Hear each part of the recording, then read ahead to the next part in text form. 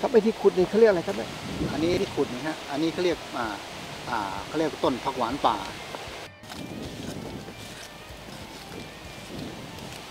ใจเสียมใกล้ขอเลยอันนี้เป็นหลักเอ่อหลักผักหวานป่า อันนี้มันจะแก้โรคเบาหวานนะ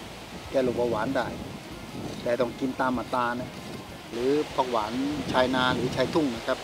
อันเนี้ยถ้าจะเป็นสมุนไพรก็เป็นสมุนไพรได้ฮะแล้วใบก็สามารถเอาไปเลี้ยงไข่ หรือครับเลี้ยงไข่หรือแกงกะทิใบก่อยแก่หน่อยนะฮะอาจจะไปเลี้ยงกะทิแกงกะทิอะไรพวกนี้ได้เลย แต่ว่าถ้าถ้าเป็นรากมันสัดส่วนของรากเนี่ยมันจะเป็นสมุนไพรนะครับผักหวานป่าเนี่ยมันจะแก้เป็นโรคเบาหวานได้ แต่ต้องกินให้ถูกลักษณะนะครับผักหวานป่าโรคเบาหวานนี่เขาบอกว่าฉมัง นะฮะฉมัง ดีนักแลใช่แหละอ่าครับจะขอดูใบหนะครับเป็นลักษณะใบเป็นไงครับเนี่ยครับ ลักษณะฮะถ้าใบอ่อนมันก็จะเขียวเขียวอ่อนนะครับ ถ้าอย่างเงี้ยใบขนาดนี้ก็ไปแกงกะทิแล้วนะฮะอย่างนี้แกงกะทินะครับหรือทำห่อหมกอะไรพวกนี้ได้หมดเลยแต่ใบแก่เนี่ยมันใช่อะไรไม่ได้หรอกครับ แต่ใบอ่อนนะใบอ่อนน่ะเขาจะไปเลี้ยงอ่อนวันนี้นะครับ ก็จะไปเลี้ยงนะฮะ ถ้าใบขนาดนี้จะไปทำห่อหมกสมัยก่อนนะฮะ